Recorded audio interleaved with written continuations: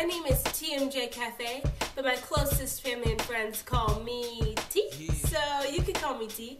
And recently, I've been doing a lot of thinking about making a bucket list. You know, a list of things to do before you die. My only problem is that I love to procrastinate.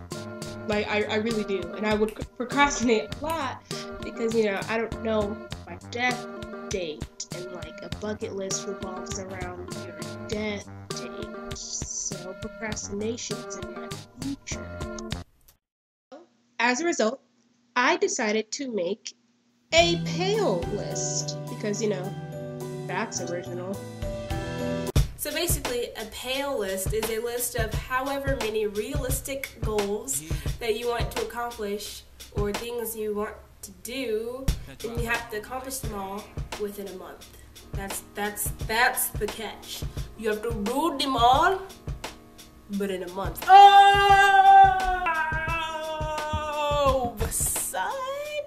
This list can range from doing things to help you overcome your fears or doing things you've procrastinated since 2011. You can do big things like visit the Great Wall of China, or you can do small things like read a new book every two weeks. I like the Pail List because it's a great way for me to frequently push myself. You know what I'm saying? You know what I'm saying? You know what I'm saying? So for me, this month, my Pail List revolves around overcoming my fears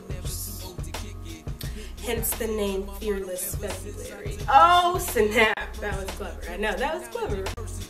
The first thing on my list is to wear my hair big and curly for the first time in my life.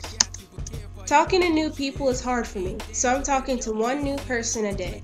I'm also going to start posting my videos on social media so that all my friends can see. Don't laugh, but I'm afraid of sleeping in the dark, so I'm also afraid of being average.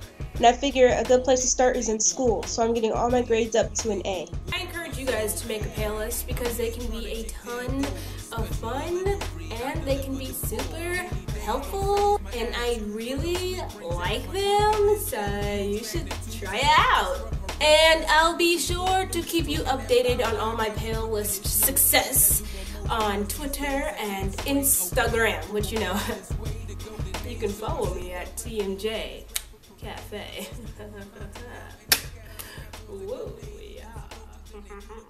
Like I said earlier, my name is TMJ Cafe, but my closest family and friends call me T. So you can call me T. And I'll see you next time.